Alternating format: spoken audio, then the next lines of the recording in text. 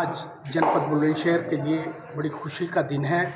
आज हमारे साथी युवा नेता तुषार चौधरी को हिंदुस्तान का कोऑर्डिनेटर बनाया गया है। ये बुलंदशहर के लिए गौरव की बात है और मुझे पूरी उम्मीद है और आशा है कि तुषार चौधरी आने वाले समय में 2019 के चुनाव में, खास तौर से छात्रों में और नौजवान, नौजवानों में एक क्रांति लाने का काम करें। बुलंदशहर जनपद के लिए बहुत ही गौरव का दिन है कि यहाँ के युवा हृदय सम्राट, छात्र नेता तुषार चौधरी को, राहुल गांधी जी की रिकमेंडेशन पर रुचि गुप्ता ने ऑल इंडिया एनएसयूआई का कोऑर्डिनेटर बनाया है।